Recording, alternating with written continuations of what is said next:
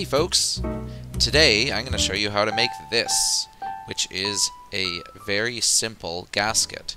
You'll notice that it has quite a few um, rules governing its shape, certain patterns that we can use in Fusion 360 to make this easier and more precise.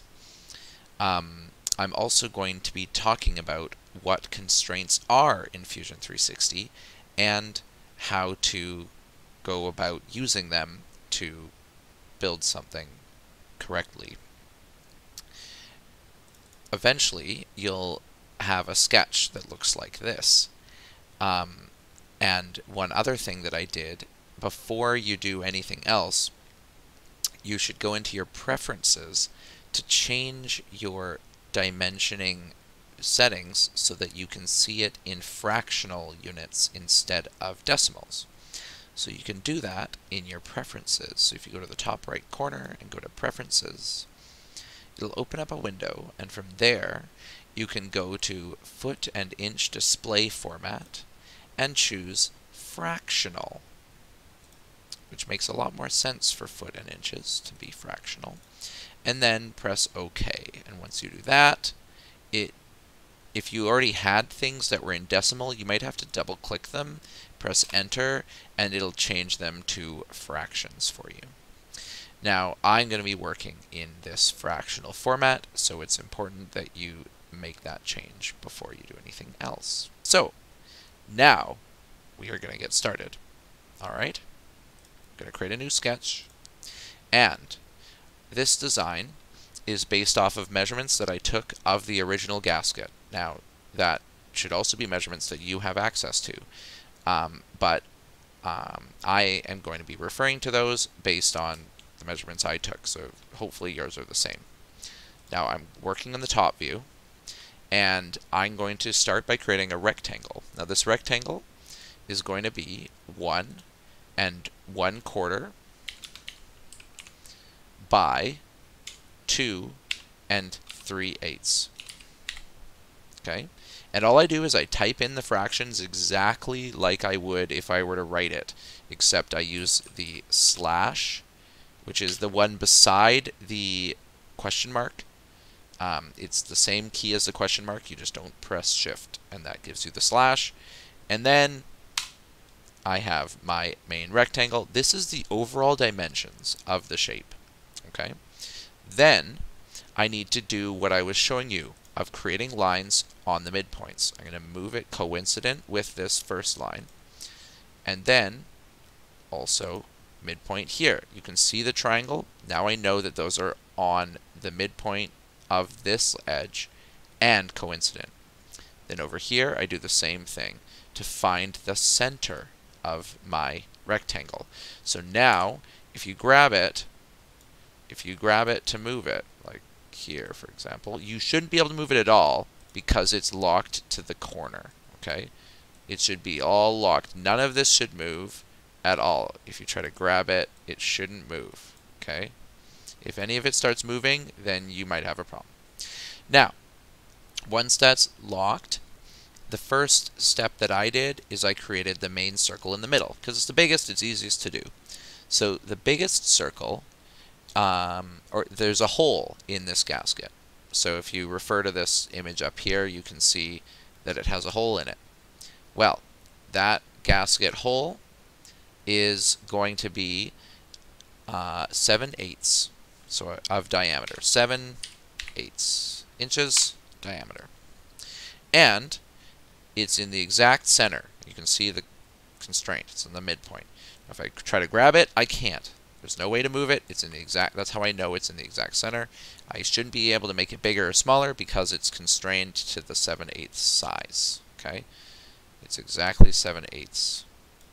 Now, the other circle that is um, in that, um, oh, I accidentally pressed finish sketch for some reason. Uh, I need to go back to what the heck did I do? I was on such a roll here. And now it's all gone. Uh, sketch. Oh, I accidentally pressed this.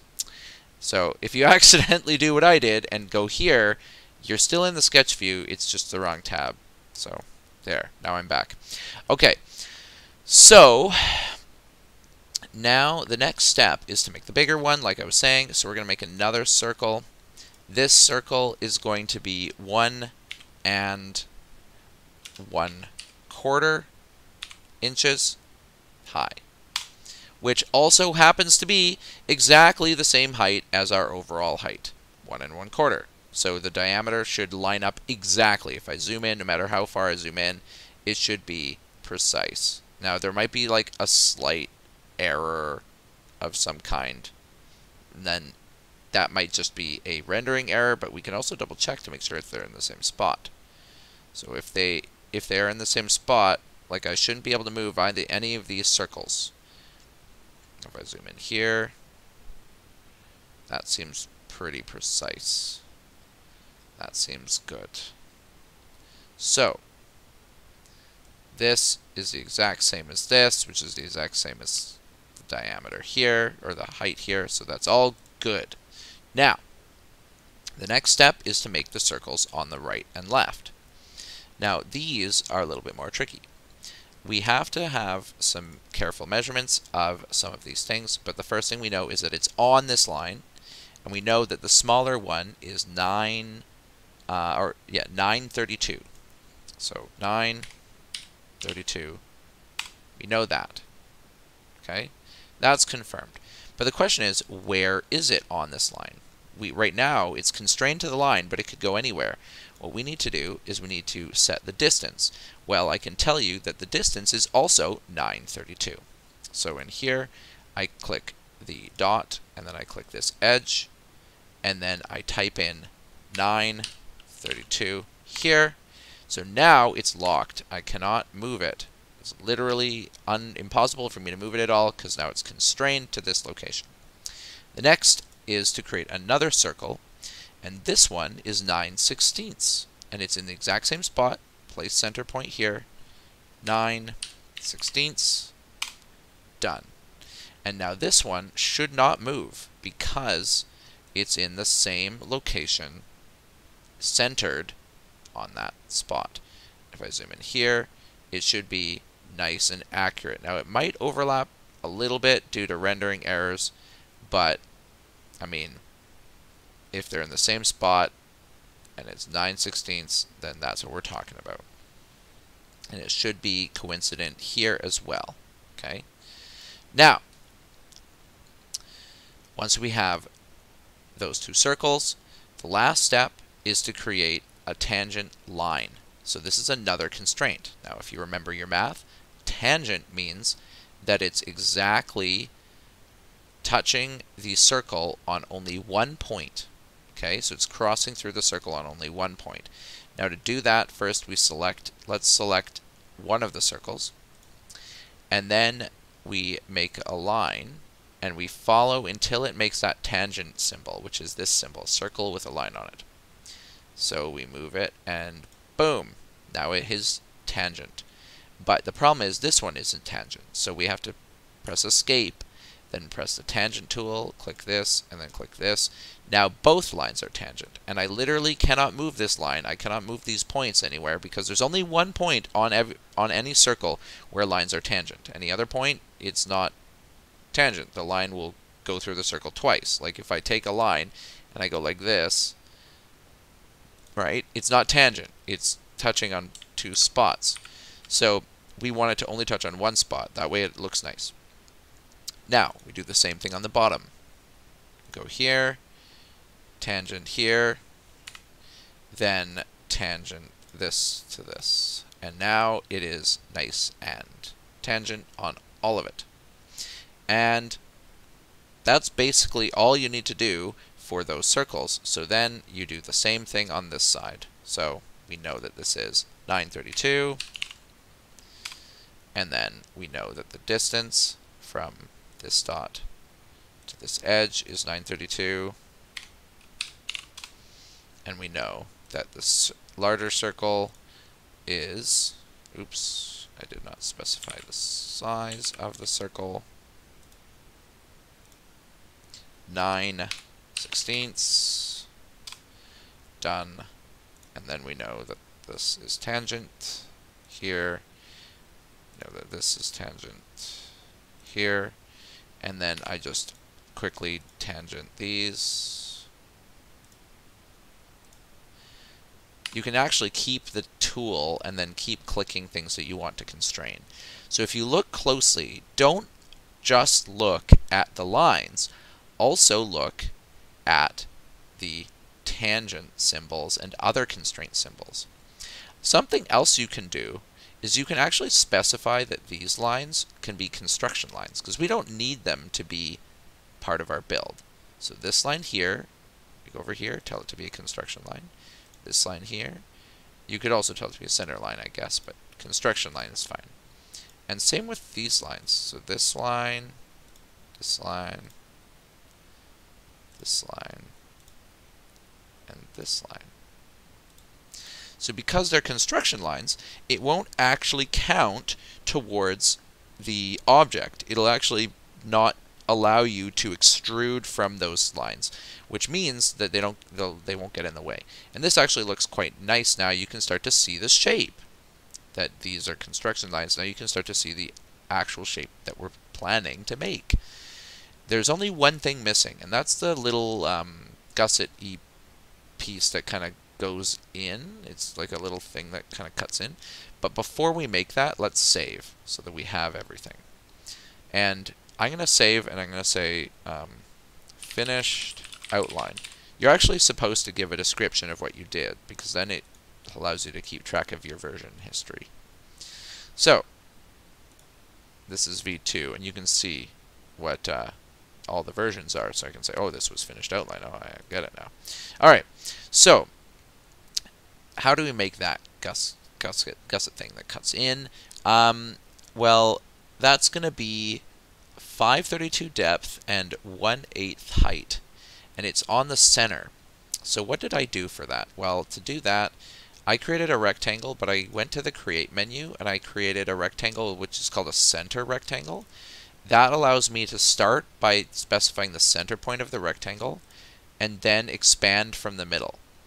And then what I did is make it be 1 8 uh, on the height and then 532 on the width. So that's a good start. But now I want to move it. Now it's on this line, I can position it. So what I did is I actually, what can you guess we need to do? What do you think, I, what kind of constraint I need to make it go from here to here? Well, it's the tangent constraint again. So we're using the tangent constraint a lot in this assignment. So we take the tangent constraint, go from here to here. And now these two are in line, and all I have to do is fill in this tiny little gap. So I'm going to go from here to here, and now I know that that's in line, and I go from here to here. Zoom in a bit so it snaps. There we go. So now that's good. And actually, this line can be a construction line because I don't need it. Um, and the last thing is, is it actually has a circle shape. Now that part's a bit tricky. So what I do is I know that the circle's diameter is going to be the same as this height. So it's going to be the 1 8th. So I go 1 8th but the position of the circle, once again, is going to be tangent to this edge. So we do tangent to here. Wow, we use the tangent constraint so many times. It's almost like it's a really handy tool when working with circles. Yes, it is. So, all of this is really useful. This line is also a construction line we don't actually need it as part of our design. So we've turned that into a construction line now. Um, and everything else, I think, is done. I think that's it. So let's save it one more time. So added notch. Okay. So now I can see in my version history once it updates. So this is V2. Let's wait for V3. If I press this, I can see, oh, this is when I added the notch, this is when I finished the outline, this is when I created it, and that's really handy. So now I can press Finish Sketch, and I can extrude this. So what I'm going to do is I'm going to press the Extrude button, and then I need to select parts. So I'm going to extrude this, and this, and this, and this, and this, this, and this. Now notice because I turned that into a construction line, it naturally selected, and I turned this into a construction line, it naturally selected the parts that make it um, the shape that I want it to be, which is great. So, now I have all of this. How high should it be? Well, gaskets are pretty thin. You might need to measure the actual gasket that we have, but I'm going to go with 132 for now. It might actually be even thinner than that, but that's a, enough that we can get a good idea of what it is. Then press save one more time and call it uh, extruded the gasket. And we are done! That's the entire design. And you just got to make sure that you hand in a render of your final version of the gasket. Plus, I also want to see the sketch. So I want you to turn the sketch on, turn the body off, and then go and edit the sketch so that I can see the dimensions. I want to be able to see all the nice dimensions that you made of your gusset and, and also do it in the right orientation. So like that. So I can see all the work that you did to make it, not just the final design. That is if you're in this class. If you're just a random person from YouTube who found this video and is watching it to learn about how to make gaskets, well, welcome to my channel. Anyway, I think that's basically it. If you have any questions, feel free to post them in the chat uh, or in the comments, and um, like the video if you like it, and hopefully it was useful. Thanks for watching.